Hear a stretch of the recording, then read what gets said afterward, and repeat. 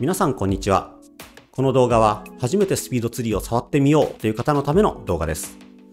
この動画と同時にもう一つ、スピードツリーとはどんなツールか、何ができるのかなどを解説した動画も公開していますので、そのあたりから知りたいという方は、先にそちらをご覧いただき、その後でこちらを見ていただくのがおすすめとなります。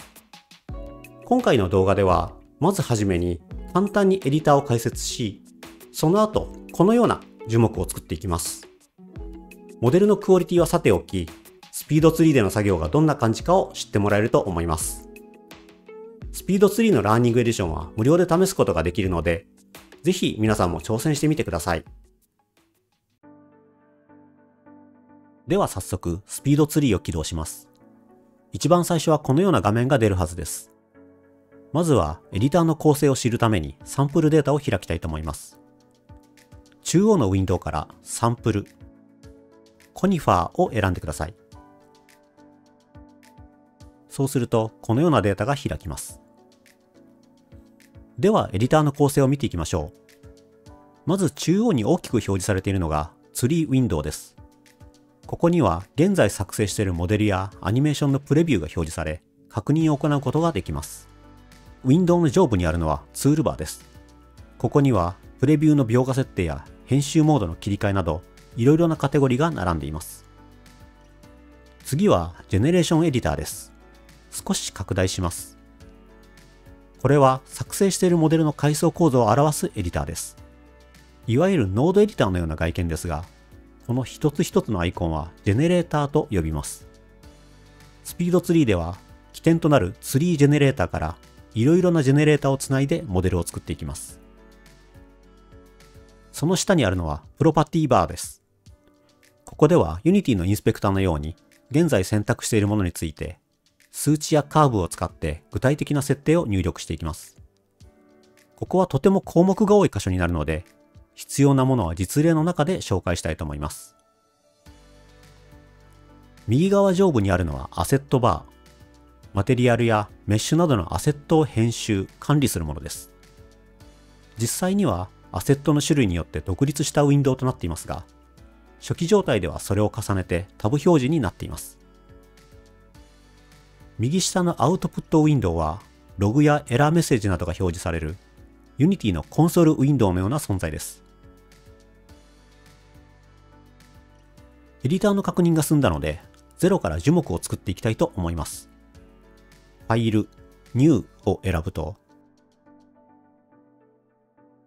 最初のウィンドウが出ますので、ここで New Tree のブランクを選びます。すると、このように何もない状態から始まります。今回アウトプットウィンドウはあまり見ないので、ここをジェネレーションエディターの場所にします。ドラッグドロップでウィンドウを重ねると、同じ場所のタブの切り替えができるようになります。ウィンドウの大きさも調整しておきます。では制作を始めましょう。最初は木の幹を作ります。ジェネレーションエディターでツリージェネレーターを選択。アッドメニューから一番上のトランクを選ぶと、ジェネレーターが追加され、ツリーウィンドウにも木の幹が作られました。続いて、 Trunk が選択された状態で Add、Branches、Big を選んでください。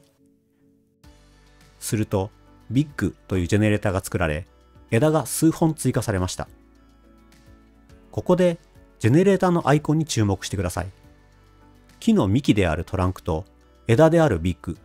名前も部位も違いますが、アイコンは同じです。ここからこの2つは同じジェネレーターのパラメータ違いだということがわかります。もう一つ、ジェネレーターウィンドウのジェネレーターの間をつないでいるラインの中央に数字が書かれていることに注目します。これは、ジェネレーターによって生成された形状の数です。ここから幹の数は1本、枝は16本作られていることがわかります。 SpeedTree ではこの一つ一つをノードと呼んでいます。この Big ジェネレータのプロパティを少し調整してみます。プロパティの一番上にある Generation グループを開きます。ここにはジェネレータの種類による設定が集まっています。このインターバルの中、フリクエンシーとカウントの数値を変えると、枝の数が変わります。今回はフリクエンシーを4、カウントを5にしておきます。続いて、ビッグジェネレーターを選択した状態で、Add、ブランチズ、リトルを選択。さらに細い枝を追加します。情報の密度が上がり、樹木っぽくなってきました。次は、このモデルにマテリアルを割り当てます。物理ベースマテリアルには、専用のテクスチャセットが必要となりますが、今回はサンプルで使われているものを流用します。マテリアルのアセットバーを開き、プラスマイナスの書かれたボタンでマテリアルのリストを開きます。最初は何もないので、Add New で新規作成、できたマテリアルを選択し、リネームボタンで名前をオークバークに変更します。できたら OK をクリックしてウィンドウを閉じます。アセットバーにマテリアルのプレビューが表示されたのを確認し、カラーのテクスチャ欄をクリックします。開いたウィンドウでサンプルズ以下にあるオークバーク1を選択します。次に表示されるこのダイアログでイエスを選ぶと、同じ名前の他のテクスチャ要素を自動でセットしてくれます。これでマテリアルが一つできたので、モデルに使っていきます。ジェネレーションエディターでトランクを選択し、プロパティーズのマテリアルグループにあるマテリアルを先ほど作ったオークバークに変えると、一気に枝までマテリアルが適用されます。この時点で UV や複雑なテクスチャのつながりも綺麗に作られているのがわかります。次は樹木にテクスチャを使った木の葉を追加したいと思います。先ほどと同じ手順でマテリアルを一つ追加し、名前を Oak Leaves にします。カラーテクスチャ欄をクリックし、 Samples 以下にある Oak English Cluster 1スプリングを選択。他要素のテクスチャも一緒にセットします。葉っぱは両面表示にしたいので、マテリアルウィンドウのメイン、2サイレットにチェックを入れます。続いて、マテリアルツールバー内のタブをカットアウトメッシュ図に切り替え、エディットボタンをクリックすると、カットアウトエディターが開きます。これは先ほど作ったマテリアルに紐付けるメッシュを作成する機能です。テクスチャ画像を囲むようにポイントを動かし形状を作ります。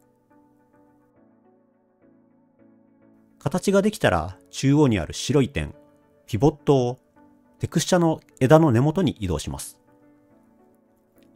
最後に、 High Middle、Low、すべての右矢印をクリックし、モデルの登録ができたら、 Done をクリックしてウィンドウを閉じます。次は、この葉のためのジェネレーターを追加します。 Generation Editor でリトルを選択し、フロンドを追加します。そうすると、枝に沿って膜のような形状が作られますが、マテリアルにオークリーブスをセットすると、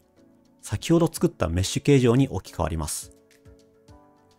枝に木の葉がつき、樹木らしくなりました。よく見ると位置が少しずれているようなので、フロントのプロパティ、シェイプのバウンダリー、スタートを0にします。これで枝の位置が正しくなりました。これでほぼ形状としては出来上がりましたが、配置された木の葉をよく見てみると、テクスチャの枝とリトルジェネレーターの枝が同じ位置から重なって生えているので、これを修正します。リトルジェネレーターを選択し、プロパティのスキンにあるタイプをスプラインオンリーに変更します。すると形状がなくなり、ラインとしての役割だけが残ります。まだまだ調整やクオリティアップの余地はたくさんありますが、今回はこれで完成とします。いかがでしょうか？とても手短ではありましたが、スピードツリーでのモデル制作がどんなものなのか、想像しやすくなったのではないかと思います。こうした作業の流れをイメージしつつ、サンプルデータを見てみることで、より深い理解につながると思います。より本格的な樹木の作成などは、スピードツリーの公式チャンネルに実例がいくつかありますので、ぜひそちらもご覧いただければと思います。それではまた次の動画でお会いしましょう。さようなら。